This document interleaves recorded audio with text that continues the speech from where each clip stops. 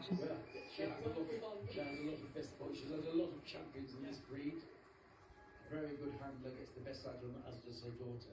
And here, the impressive Russian Black Terrier. Ah. An unpronounceable name, so I'm glad it's on the screen for us, yes.